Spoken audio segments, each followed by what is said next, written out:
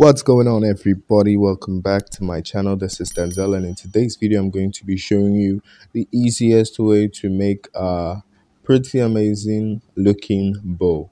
Alright, so let's get started. First of all, we go ahead and add the cube and we scale that out to how we want it. And we can tap into edit mode and add a loop cut down at the center.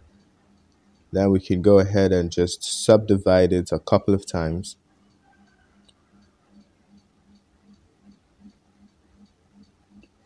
and that should be it for that. Then we go ahead and add another object a torus.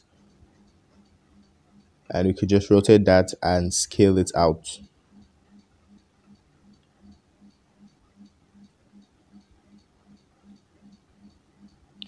And I'll shrink the torus by hitting alt S. And that should be fine. Now we'll scale it down towards the middle and all this will make sense as we continue and we'll insert a keyframe for the scale.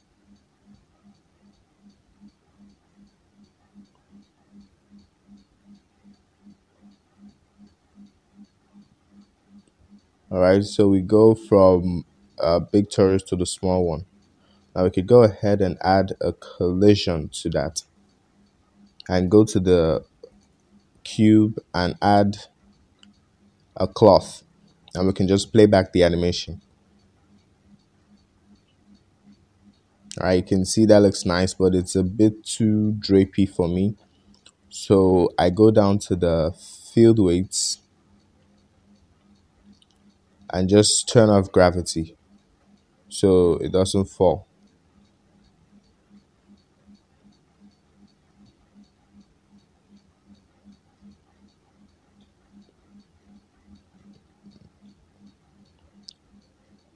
Okay, now my next problem is the fact that um, the mesh is going through itself. So we need to activate self collision. So it bounces off itself. All right, I think we are looking good.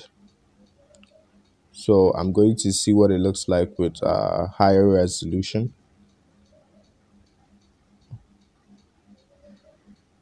Well, it looks good, but now it looks like uh, a bag so I think I'll go back to how it looked like before.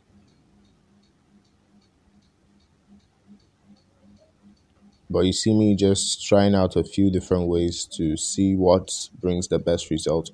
And this looks fine. One subdivision surface modifier on top and one underneath the uh, underneath the cloth.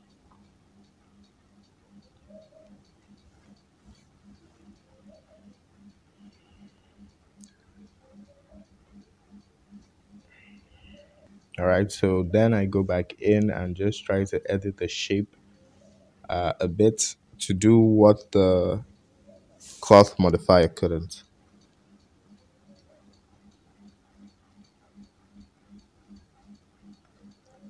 And some tweaking afterwards and that is basically it guys. Thank you so much for watching. I never take your time for granted. If you enjoyed this video do well to hit that subscribe button.